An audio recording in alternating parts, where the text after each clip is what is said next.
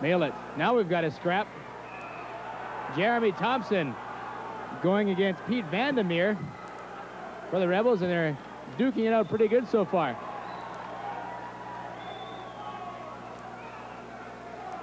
Whoa, there's a left by Thompson. Both guys have got a few good shots in. No one's gone down yet.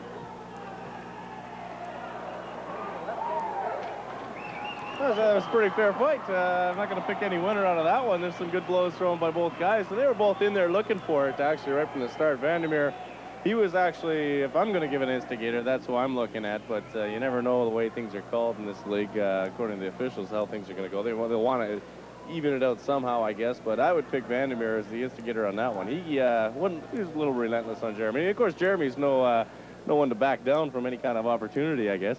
Yeah, always a willing partner, and they went at it pretty good. Both got their shots in. I'm surprised they lasted that long because they're both swinging pretty good. Both took a couple of shots. Oh, yeah, there were some nice connections out there, that's for sure. Looks like things will even up.